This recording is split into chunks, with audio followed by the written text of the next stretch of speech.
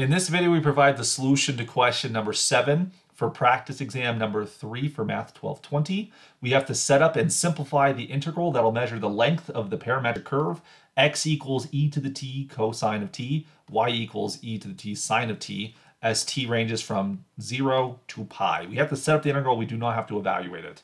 So we're looking for arc length, so we're going to use our standard arc length formula um, the integral of ds. Now, in this situation, because we have a parametric function, we can adapt it because uh, the general formula, right, is you take the square root of dx squared plus dy squared, which this actually suggests as we modify this into parametric form, we're going to take the derivative of x there, so e to the t cosine t. Um, then we have to square it, of course. We also are going to take the derivative of the y, e to the t sine of t, squared. This all sits inside of the square root. We're going to integrate with respect to t, and then told us the bounds are going to go from 0 to pi in that situation. So we've now set up the integral, but the instructions do specifically say we have to simplify it. So my strategy is going to, um, well, I have a, I have a, I have to take the derivatives of these things here. By the product rule, you're going to get a sum of a couple things. So let's take a look at that. With the first one, we take the derivative of et cosine of t.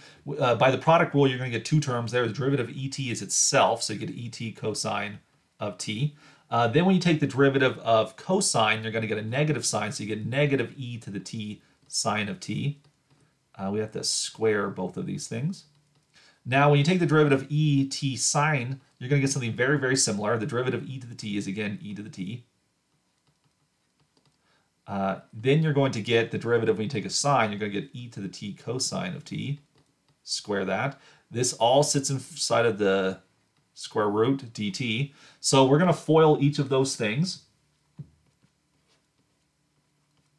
Uh, so foiling the first one, um, you're going to end up with an e to the 2t cosine squared t. Uh, you're going to get negative e to the 2t uh, cosine of t sine of t. And then for the next one, you're going to get a positive e to the 2t sine squared t. Uh, for which, well, we're not quite done yet. I do want to note here that we have a cosine squared and a sine squared. Uh, that's going to combine together to give you just a cosine squared plus sine squared is equal to 1. So since they both are divisible by e to the 2t, we're going to just get an e to the 2t, there, e to the 2t there. Uh, but then for the next one, when you FOIL that out, you're actually going to get something very similar. You're going to e to the 2t uh, sine squared. You're going to get a plus uh, 2 times, and I forgot to write a 2 over here. There should be 2 there. Um, you're going to get a 2 plus 2e to the 2t um, sine of t cosine of t. And then you're going to get a e to the 2t cosine squared of t. This thing looks huge. And so all of this is under the square root. It looks massive, but it's going to simplify super nice. Uh, so also notice we have another e to the 2t sine squared. We have an e to the 2t cosine squared. Those will likewise combine together. Uh, when you add them together, sine squared plus cosine squared is equal to 1.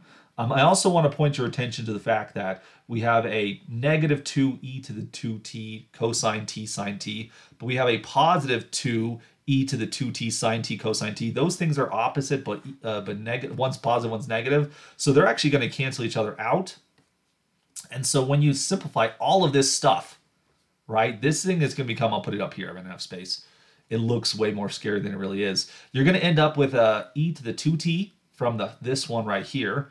Uh, the blue part's canceled out. Then you're going to get an e to the 2t right here, dt for which if you combine those together, you're going to get the square root of 2 times e to the 2t. And notice, of course, e to the 2t is just e to the t squared. And so when you simplify this thing, you actually end up with the square root of 2 times the integral from 0 to pi of e to the t dt. You do not need to evaluate the integral, but it's like, that's not a hard evaluation. Um, you just have to set it up and simplify it. And as crazy as it looked, it actually simplifies very, very nicely. So much that I almost want to evaluate it, but we won't because we won't get any credit for doing that here.